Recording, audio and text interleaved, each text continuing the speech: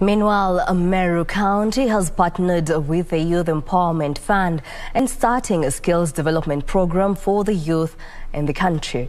In the county, rather, the program aims to identify skills and talents in young people so as to help develop them through appropriate training. Meru Governor Kiraitu Murungi launched the Youth Skill Development Program, which will allow institutions and government to identify individual strengths and skills in young people and channel the requisite resources towards their development.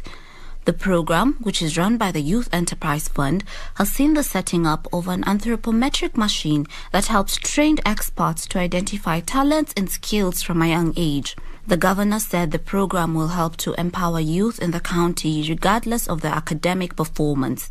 The Youth Fund Chair, Dr. Victor Mungera, lauded the project, saying early identification of talents and skills will help them to develop and guide the youth to set up businesses, invest, and access financing. As the Meru County government, we chose this as one of our areas of focus.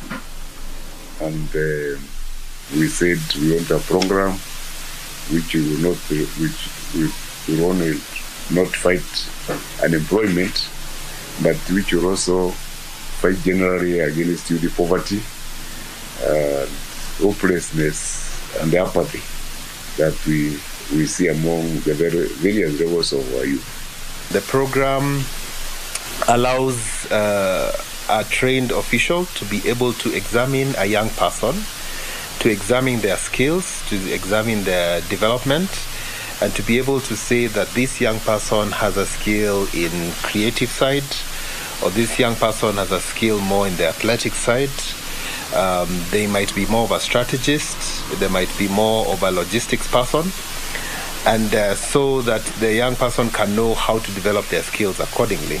The unique program will run in six counties, including Mombasa, Nakuru, and Nairobi.